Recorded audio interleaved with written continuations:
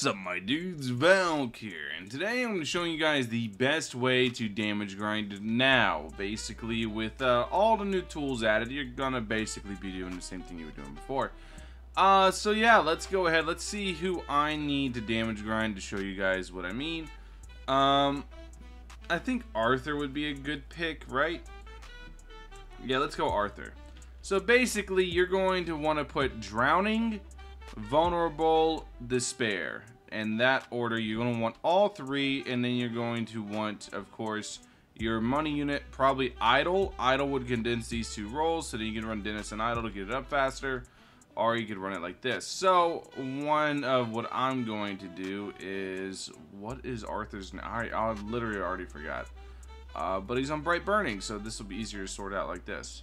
So let's go ahead, Holy Knight Almer. We're going to go here, we're going to put Holy Knight Almer as the lead, and he's going to lead himself for 90%, but I can see that he's on Savior of the Earth, which means I can go here, put him here, and then come back here, clear these passives, and put Dr. Stone as lead, because Dr. Stone leads Savior of the Earth. So I can see Dr. Stone has a better lead, so I'll just do that. So, let's go ahead and see what our damage is right now before I get into this. Let me uh, go to Holy Knight. Holy shit. Um, Knight. Yeah. So let's see. He has 20 billion damage right now. And I need to Evo him. I need approximately 20 or 80 billion damage. So let's see how much damage we get. Let's go ahead. I need about 60 billion damage. And what is he? He is uh, water, I believe that is. So we're going to check the type chart next. Since we see that he's water, we're going to check this. Water beat fire. So now we're going to go and we're going to do a red. We're going to go do a fire uh, orb stage with all these tools we have. We're going to go here. We're going to put on normal little baby mode because we don't care about getting red orbs. We just want to run the stage. Very important here. We don't care about red orbs, just want to run the stage. Um, running the stage won't take too, too long. And to start out, we're going to keep it off auto skip. Uh, we're going to just keep it nice and simple to begin with. We're going to do this, and we're going to ready up. And we're going to chill here. Um, we're going to put down a Noelle because she's going to do decent damage off rip, but she'll be able to handle the flyers, which is kind of important here. And then we're going to put down a, uh, not Arthur, we're going to put down Arcueid. Arcueid will also help us out a lot. So now we're going to start working on getting our money up and going from there. So yep, Arcueid has a really, really fat attack stat. So yeah, you just put her down she just, she just bops stuff for a bit. Uh, but you can see what drowning does. The reason we're running drowning is it makes them take 20% more damage. Sleep makes them 20 take 20% more damage. Vulnerable makes them take more damage. Despair makes them take more damage. So at the end of the day, they're just taking a bunch of damage extra. So we're going to use that to kind of amp up the amount of damage that they can take. Slow and vulnerable also um, are not slow and vulnerable. Uh, vulnerable and drowning also increase the infected slows, so you're able to really increase our crank how effective slows are in that regard. So that's pretty nice. Uh, so yeah, now we're just kind of chilling. We're going to upgrade Noelle here to a line soon enough.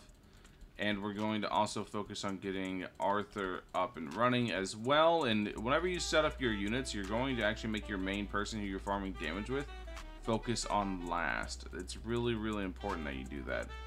Uh, because it allows you to go ahead and do funny stuff. So let's go ahead, let's get her to line already. That way we don't have to worry about these airs that are sneaking through. So let's put it to last. There we go. And now let's go back to this. I'll have auto skip on. Eh, whatever. I was going to go with auto skip off, but whatever. This works too. Uh, you just want to get your money. Once the money's up and running, you're fine. Yeah, my, my money's already up and running, so I'm doing pretty good for myself. I'm having me a grand old time, and now we're just going to max upgrade this, and we're going to go back to our inventions. We don't need this, but it bothers me not having everything bought, so we're just going to get it anyways. Uh, yeah, we're going to grab this. We're going to wait for the next tick. Make sure we grab all of our buffers. You could run more buffers, like I could have ran leader, but I'm, I'm be real, I like the amount of debuffs that I get out of all this. And not to mention, Kurumi and Arcueid also let you survive the stage longer because they have methods to do that. So, let's do this. I'm trying to remember, does he turn into... Okay, so it's just a big circle AoE. So now we're going to do this, this. His, I forget how low his attack stat is. Or was, I should say. Uh, now we're going to set it to last. Set it to last. Attack plus 10%.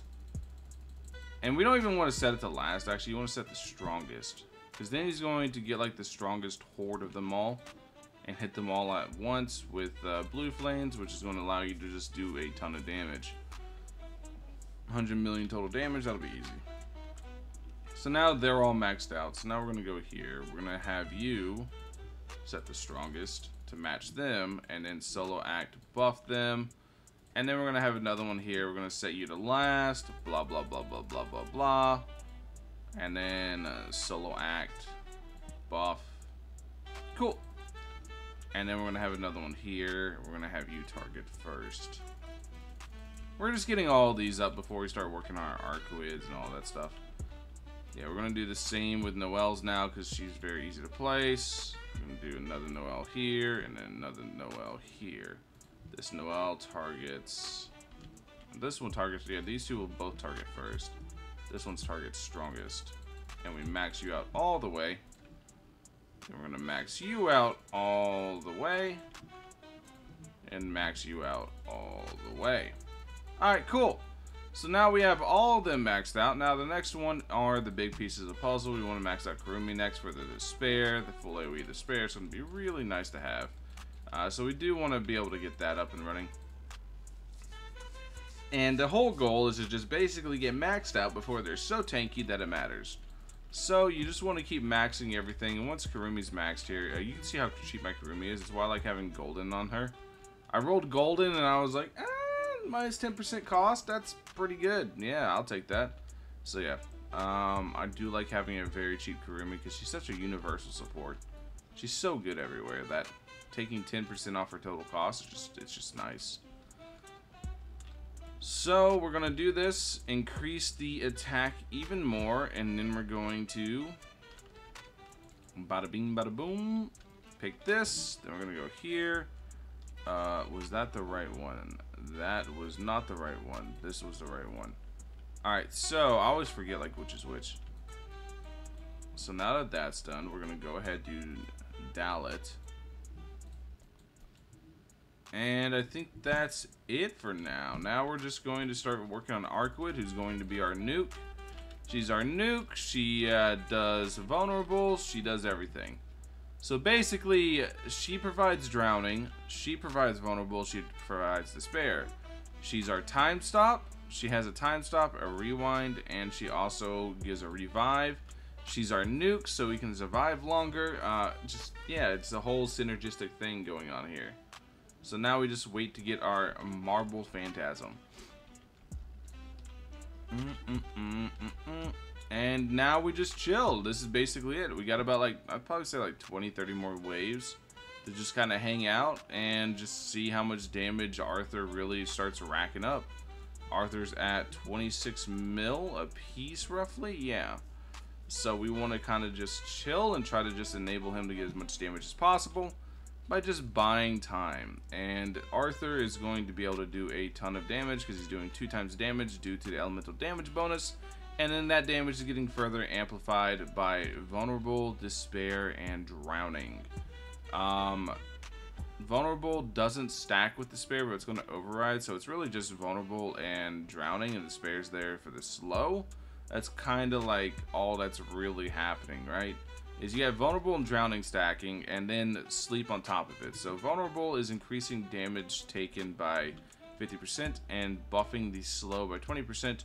Drowning's buffing that slow by another 20% and increasing that damage taken by 20%. So yeah, 70% damage taken.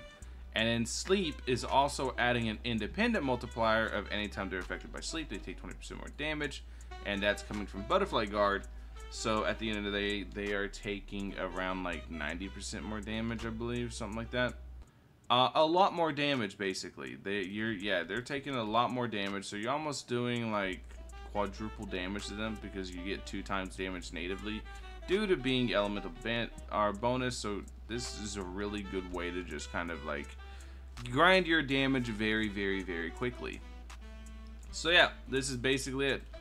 Um, you want to try to pick the best leader, but if one of these units doesn't lead the unit that you have, like, just put that unit that you're grinding as its own lead. You'll lose a little bit of attack, but it doesn't matter. Not whenever you're running a setup like this. So now that we got this going, we're going to go ahead and pick that.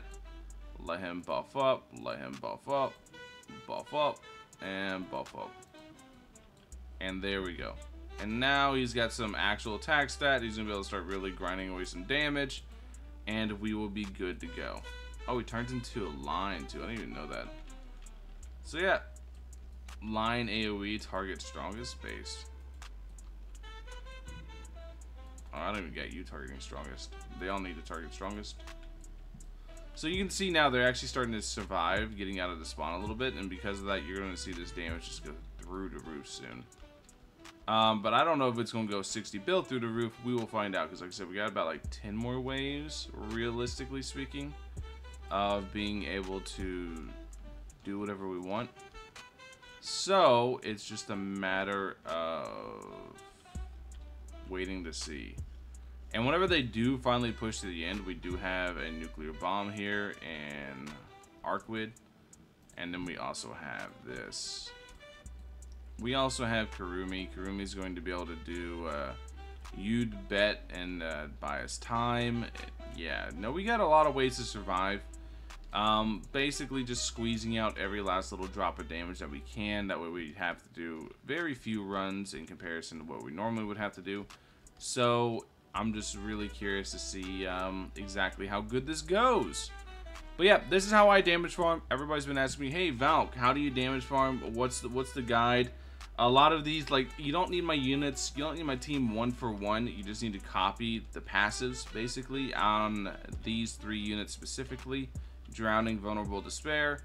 Um, copy those three passes very specifically, uh, but you really should get Arcueid, you really should get Nightmare, and you really should get a Drowning unit. Doesn't have to be Noelle, but any Drowning unit will do.